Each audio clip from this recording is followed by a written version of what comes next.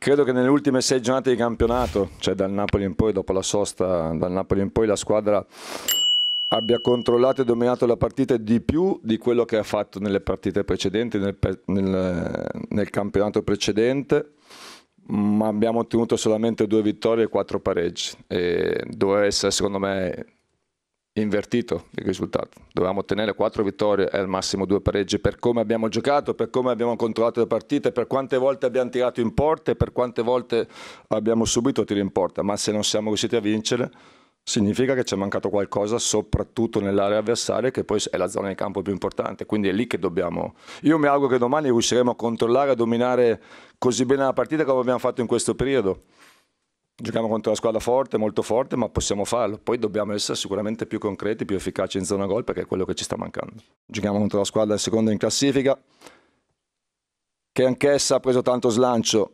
dall'uscita nelle coppe, ma una squadra con grande qualità, con grande gioco, con coralità, con squadra forte, quindi dovremo mettere in campo un'ottima prestazione. So quello che faccio e so perché lo faccio poi so anche assumermi responsabilità quando i risultati non vengono, questo nel modo più, più assoluto. E I pareggi sono arrivati, non c'è un Milan 1, non c'è un Milan 2, ci sono giocatori che, che stimo tantissimo, delle quali ho tanta fiducia.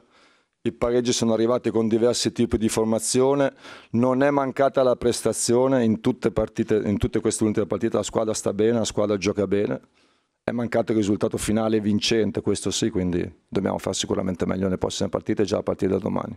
Conosco bene i miei giocatori, so che i giocatori stanno bene, so che i giocatori ci credono, so che i giocatori hanno le qualità necessarie per fare delle ottime partite.